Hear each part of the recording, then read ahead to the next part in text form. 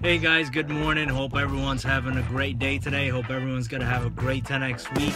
Uh, I just wanted to share a revelation with everyone. Uh, been listening to some of uh, the stuff by Tony Robbins, and I heard something that I realized today happened to me. I don't know if anyone else has experienced this, but if you have, I'd like to hear your input and see how that affected you.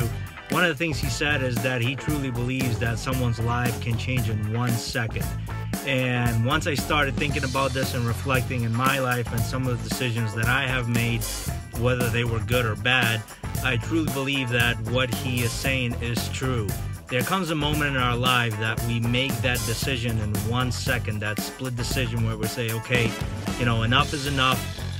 We're done with the situation we're in. We're done with the struggles. We're done with whatever it is that you're dealing with, whether it's positive or negative, and we're gonna shift and we're gonna do something else in order to get a better experience and improve our lives or improve the lives of the people that are around us.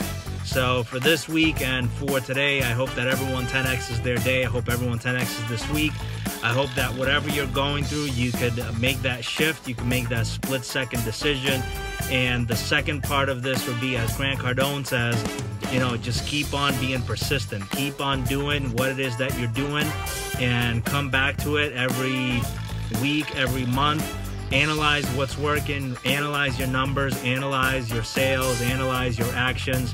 Whether you're trying to lose weight, whether you're trying to sell more, whether you're trying to grow your business, just come back, analyze, see what's working, and continue doing it. And if it's not working, then see where you can make those little transitions and keep on changing the formula until you get the right formula, the right recipe that is working and it's going to continue working for you and then just hammer it and go 100% all in.